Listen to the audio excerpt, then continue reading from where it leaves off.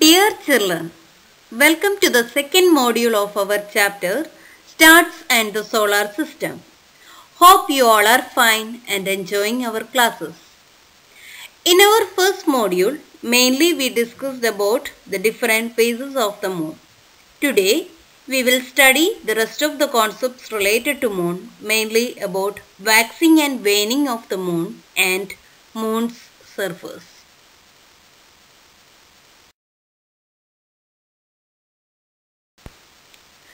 Now we will discuss about waxing and waning of the moon. In our first module, we have learnt about the different phases of the moon. So you understood that the size of the illuminated part of the moon changes every day. It is clear that the size of the illuminated part of the moon visible from the earth increases each day after the new moon day. This gradual increase in the bright disk of the moon is called waxing of the moon. Therefore, waxing of the moon happens from new moon day to the full moon day. Similarly, after the full moon day, the sunlit part of the moon visible from the earth decreases in size every day. This decrease in the bright disk of the moon is called waning of the moon. Therefore, waning of the moon occurs from the full moon day to the new moon day. I hope the waxing and waning of the moon is clear now.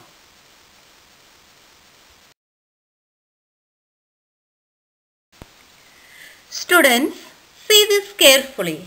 Like the position of the sun is on the left of the figure. This will give you a clear idea about the different phases of the moon. You can also notice that from the new moon day to the full moon day, the size of the illuminated part of the moon goes on increasing.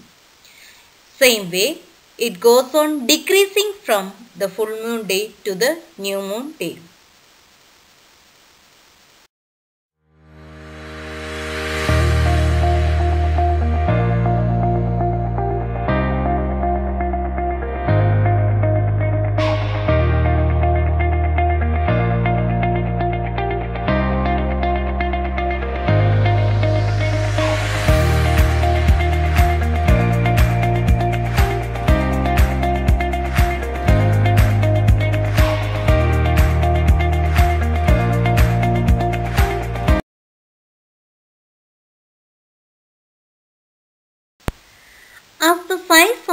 Illuminated part of the moon increases from new moon to full moon, during this transition time, the phases are new moon, waxing crescent, first quarter, waxing gibbous and full moon in order. Then from full moon to new moon, during waning, the order is full moon, waning gibbous, last quarter, waning crescent and new moon. So I hope it is clear that during the waxing and waning of the moon, it revolves around the earth. The earth along with the moon revolves around the sun. The moon completes one revolution between one full moon to the next full moon or between one new moon to the next new moon in nearly 29 and a half days. The moon also completes one rotation on its axis as it completes one revolution around the earth.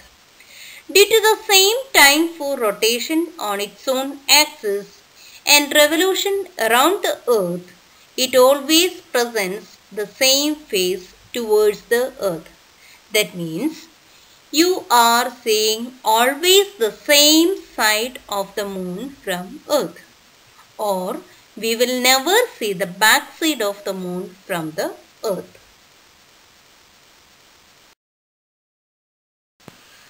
From this you can understand how the moon completes its one revolution around the earth as it completes one rotation in its own axis.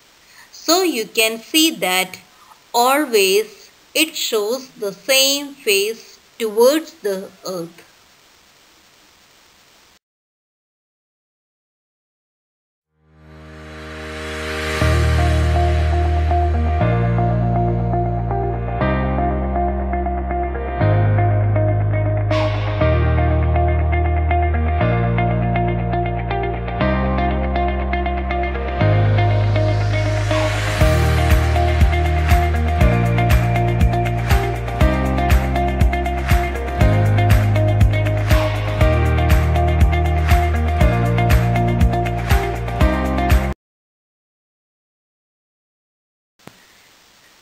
Let's discuss about moon surface. The moon surface is dusty, dry and barren. There are many craters of different sizes. It also has a large number of steep and high mountains. Some of these are as high as the highest mountains on the earth. It is about one fourth the size of the earth. Its mass is very small when compared to earth. It is at a large distance from the earth around 3,84,400 kilometers.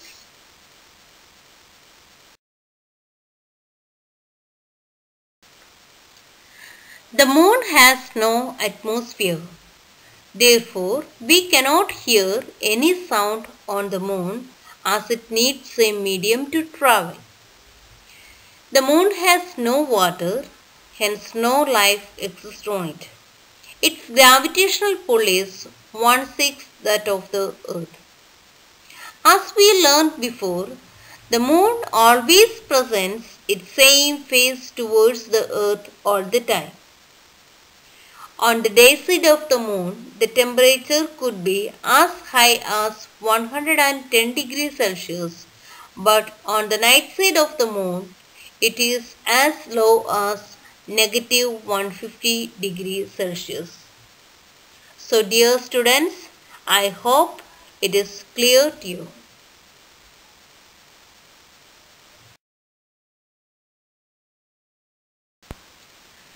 Now you can write down the answers of these questions in your notebook.